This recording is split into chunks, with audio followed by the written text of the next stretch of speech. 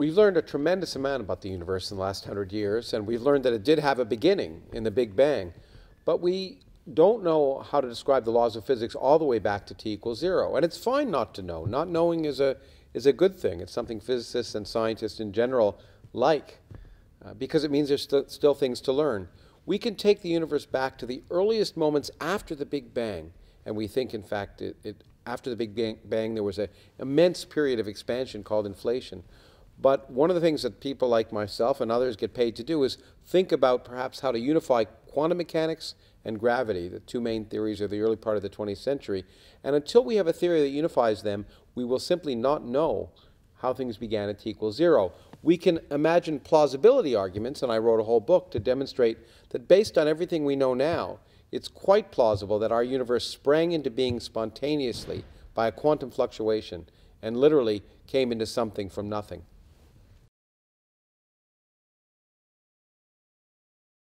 The question of how we get something from nothing, of course, has been around for as long as people have thought about the universe and thought that it might have a beginning. One of the arguments traditionally is that God is needed to do it. But one of the wonderful things is we've discovered that's not necessary. That in fact, gravity can have negative energy as well as positive energy.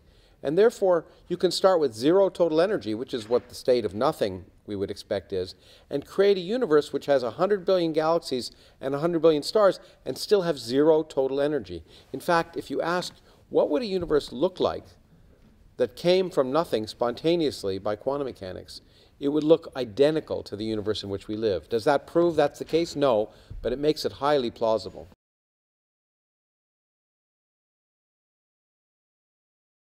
A lot of people say, well, science will never be able to answer this question or that question. But in fact, we don't know until we try. So far, there's been no barriers. And so I hope that one day we will be able to answer the question, how did the universe begin? And maybe even, is our universe unique? Uh, but I don't know. And the only thing we can do is keep trying. And uh, it's a very exciting time because every time we open a new window on the universe, we're surprised and we learn more.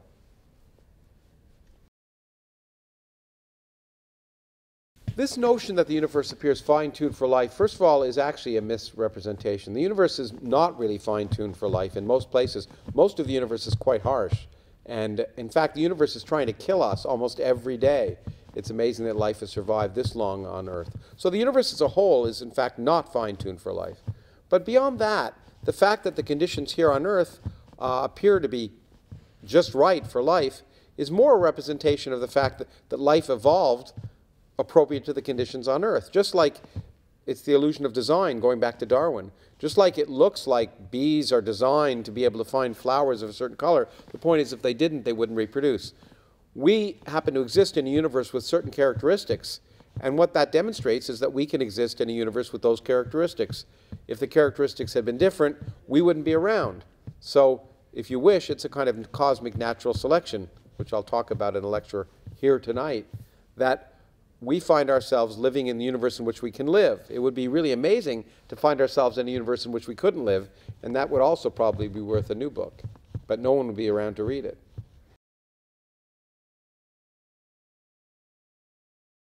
It is true that certain parameters of the, of the universe appear to be such that if you change them a little bit, life wouldn't be possible. Does that represent fine tuning? Not necessarily.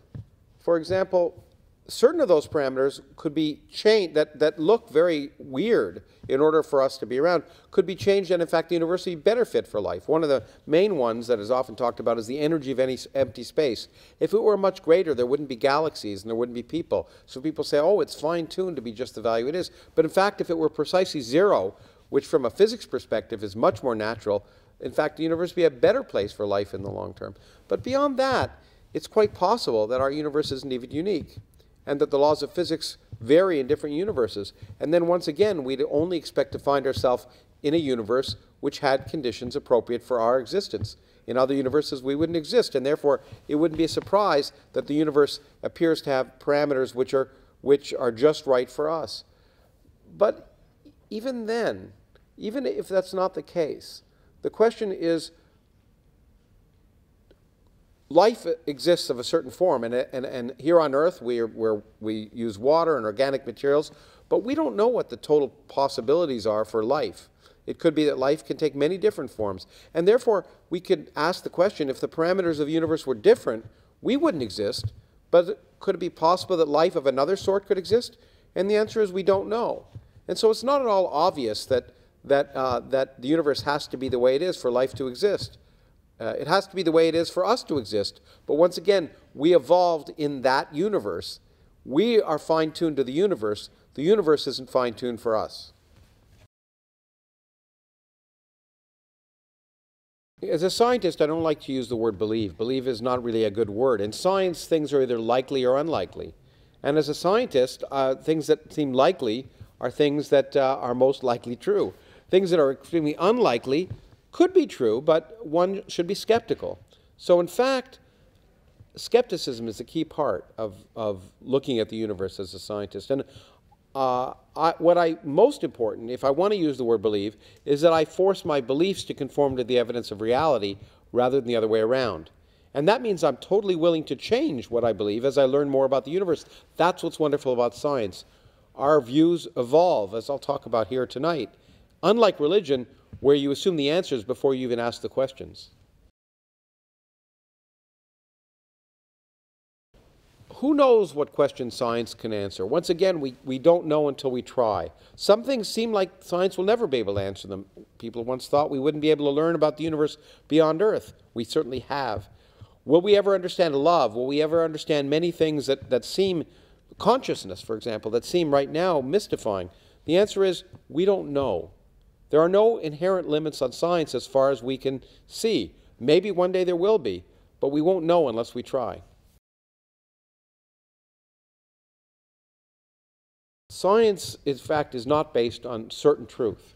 Sci what science can do very well is to, to prove things false. So we can say certain things are false with certainty if they violate the results of experiments. If an idea violates the, makes predictions that disagree with experiment, it's false. So what's false, in some sense, remains that way forever, and we can say what's false with certainty. But what's true, we can't say with certainty, because even an idea that works, like Newton's theory of gravity, can later on be refined at the, at the extremes of scale. So our ideas continually change, and we have to keep testing them. So scientists don't mind living with uncertainty. In fact, it's exciting, because once again, it means there's more to learn about the universe.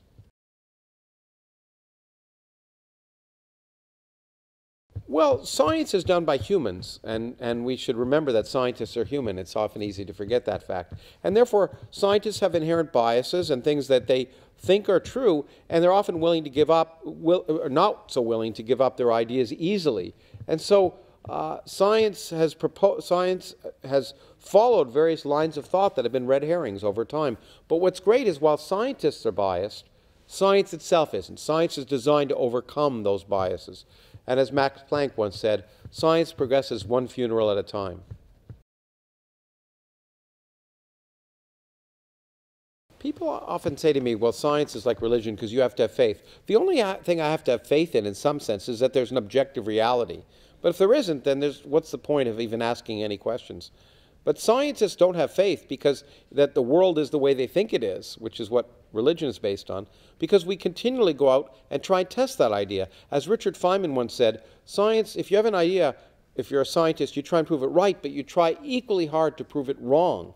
So often we're trying to prove ourselves wrong, and that certainly isn't the same kind of faith as religion. For me to live without certainty is exciting because it means I can be surprised at every turn. In fact, it makes life more exciting and more worth living that I don't know everything. If you did, it would be kind of a boring existence.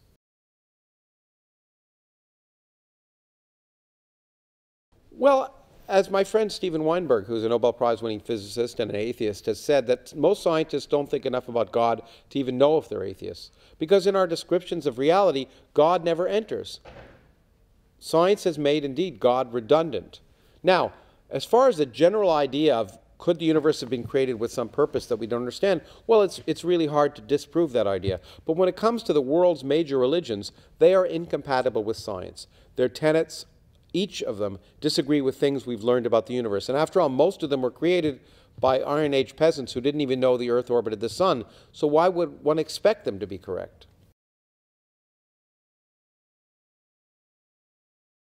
Science is important because we're all scientists. We're all born scientists. We, we, we, we evolve and we, we, we adapt, I should say, rather than evolve. As young babies, we're learning about the world. We're constantly testing our ideas if a fire is hot or not. And that's really the scientific process. Science is essential to learn about the world and to learn about ourselves. If we want to answer those transcendental questions like, are we alone? Where do we come from? What does it mean to be human? Ultimately, we need science. There's no, no knowledge comes from revelation. It only comes from empirical study of the universe followed by reasoning, and that's what I describe as science. Science is fun. We are hardwired to love to solve puzzles, and science is one great puzzle. Science enhances our lives just as music, art, and literature do by changing our perspective of our place in the cosmos. The aha experience that you have when you learn something new or you understand something you never understood before is orgasmic. Science is fun. And in fact, I think most children know that. The problem with many schools is we take the fun out of science.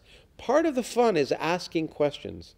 And I think we have to understand that in our schools, we need to spend more time asking questions and less time worrying about facts. Science has made the world around us possible. It's, it's, it's improved the lot of most people on Earth by, its, by the technological developments that have resulted from science. People live longer, and more people can live without starvation. And without pain. So science has improved our lives immeasurably because of its technology, but it's not just because of that. It's because science has improved our understanding of ourselves. It's helped us understand what it means to be human. It's an essential part of civilization. And without science, then the joy of being human is diminished.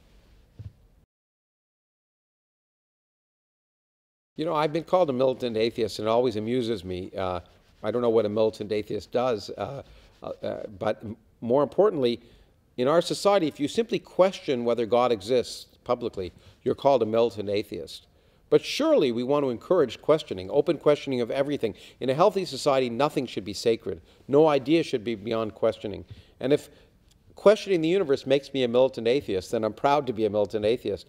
But as far as talking to people about things, well, I think it, it, depends on the audience and it depends on the individual. Sometimes I think one has to provoke and one has to be willing to say that, you know, your ideas are wrong. So I, I think when one's talking to individuals, you have to tailor your argument to the individual.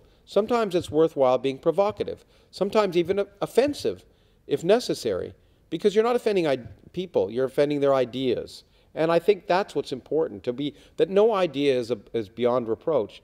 But I think it takes all kinds. I, sometimes it takes humor. I think what one shouldn't be is patronizing.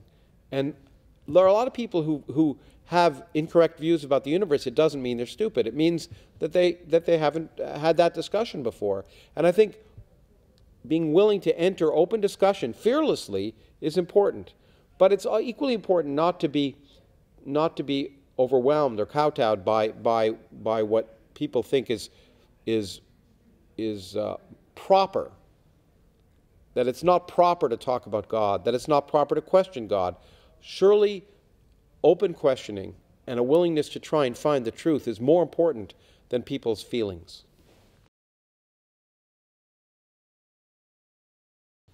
I, I try not to try, describe myself as any ist, except maybe, I suppose, a scientist. Humanism means many things to, uh, to me, and, I, and, and the, the, good aspects of that are that I'm willing to openly question uh, the universe and, and, and follow wherever the universe takes me to answer those questions. The fact that I care about other humans, the fact that I care about humanity, and ultimately want to work with others to try and improve the human condition. That, that uh, I recognize the value of others and the value of ideas all of those things represent humanism to me, and in that sense, I, guess I would be proud to be called a humanist.